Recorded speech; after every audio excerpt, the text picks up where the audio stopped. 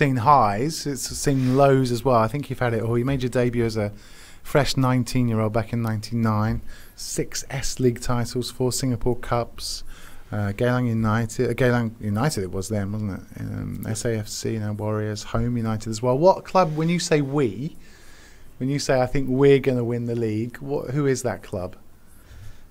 I had my best playing time at SAFFC. Champions League.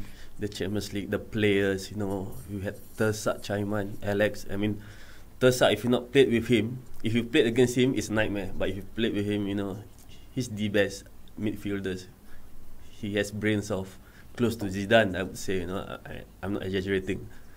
Um, There's some real characters in that SAFC. yes, we had Dan, Daniel Bennett. We had John Wilkinson. You know, We he still calls you the, the best goalkeeper Singapore's ever yeah. seen. He, he he says that I make saves with my ears. You know. he he reckon I have.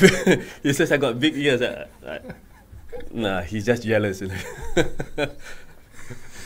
Yeah, brilliant, bro! What a team, and they, that was, and the Champions League ex- exploits were, were were brilliant as well, right? We actually played the group proper, you see. Yeah. Yeah. we travelled to Suwon. We played Gamba, we played Kashima.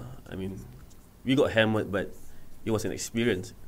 No money can buy, you know. Yeah. Even right now, you can only play in the, in the qualifiers. So that's something that I wouldn't change for anything. I wish.